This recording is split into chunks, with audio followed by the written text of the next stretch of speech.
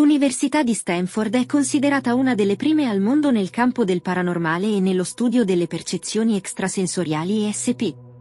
Sin dal lontano 1911, il professor John Edgar Coover ha iniziato a condurre esperimenti straordinari, come ad esempio il famoso cucchiaio Bender e la capacità di piegare il ferro con la forza del pensiero.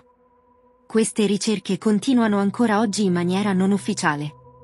Nel 1935, due ricercatori dell'Università di Duke, dopo una lezione tenuta da Sir Conan Doyle sulla possibilità di comunicare con i morti, hanno deciso di fondare una disciplina fondata sullo studio critico della percezione sensoriale.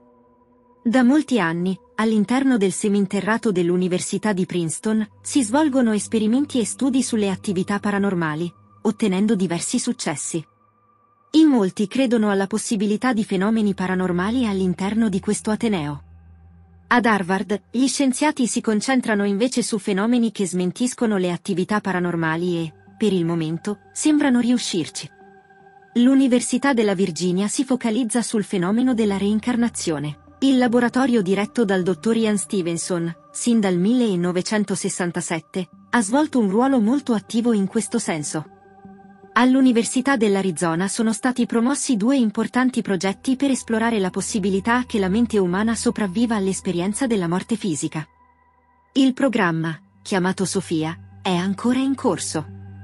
Per dieci anni, l'Università di Los Angeles si è concentrata sulla ricerca sul paranormale, studiando chiaroveggenza, telepatia e case infestate. Tuttavia, il progetto è stato successivamente abbandonato dopo tanto clamore mediatico. Da quattro anni, l'Università di Cornell ha lanciato un programma specifico sulla ricognizione che ha coinvolto più di mille persone, ottenendo risultati incredibilmente positivi. L'esperimento di Bern ha permesso di spiegare concetti particolari, indicando che la mente sia in grado di prevedere eventi futuri grazie al pensiero retroattivo.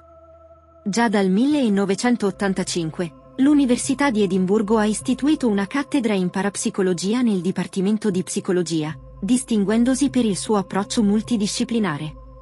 Dal 2010, l'analisi e la ricerca sono state anche sviluppate utilizzando Twitter. All'Università di Londra, con il telepathy test dell'APRU, si tengono uno degli esperimenti più interessanti. Gli studi si concentrano su casi quotidiani, come ad esempio la coincidenza di ricevere una chiamata da qualcuno che hai appena pensato.